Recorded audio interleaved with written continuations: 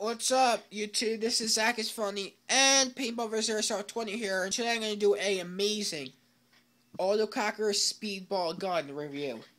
Now, this gun is $800 to buy. Um, the trigger alone is $400, so I'm going to show you that right now. So here's the gun. It's a WGP Autococker. Um, it has a lot. Let me get started with its features.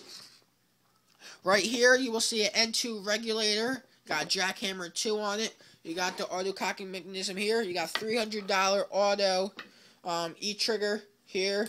You got a V-neck here. You got a freak barrel here.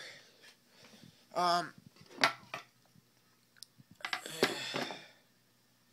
you got an extended CO2 here that goes straight up into the regulator. You got a trigger, a half trigger, does not come out all the way, nice and easy. Um, and you got an E right here. It just, I don't really know what this is used for, but there's tubes coming out of it to, for the um, jackhammer. So that's part of the jackhammer. Um, turn, um, this is the E-trigger right here. You got nice E-grips on here. Really nice. Fits really well. This gun is quite heavy.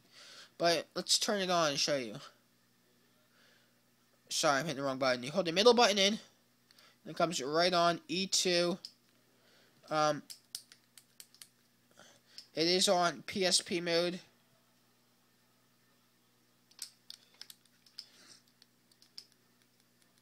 So... Got it on the eye, but whatever.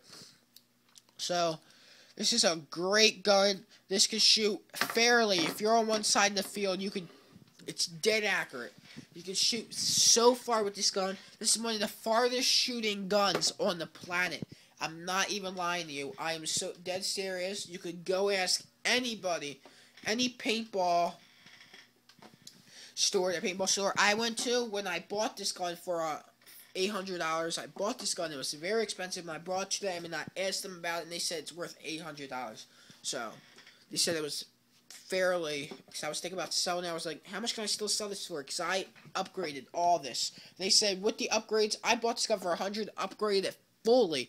And they said, I got 405 actually. And they said, with all this stuff you have on it, with the barrel, with the E-trigger, if you wanted to just sell the E-trigger alone, $300, the gun wholesale $800. I was amazed. Buying this for 105 keeping it, adding on, building it nicely, $800. That's some ka-ching money, but whatever. Um, so,